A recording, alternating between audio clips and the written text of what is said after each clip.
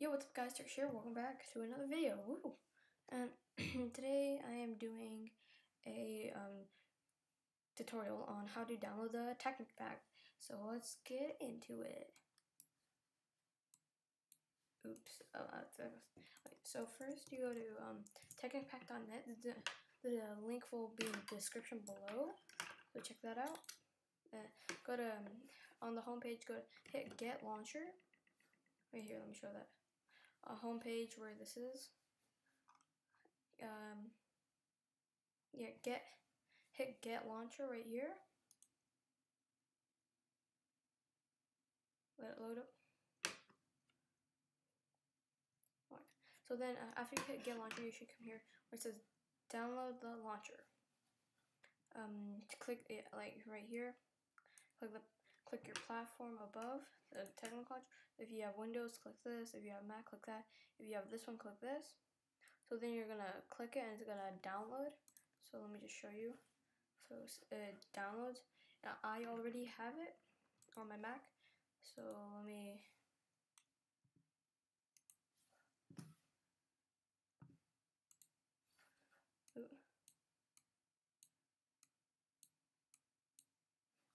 switch to that quickly. Okay.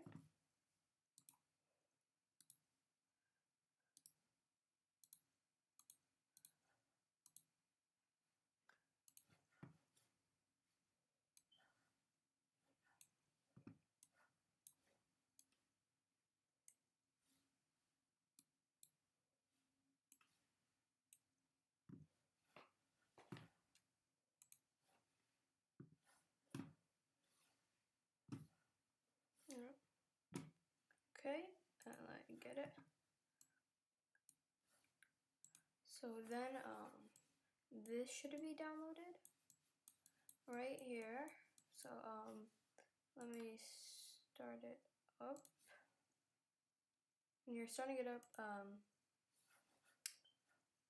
there will be the um, this logo, the um, like the photo with the yeah or the wrench photo.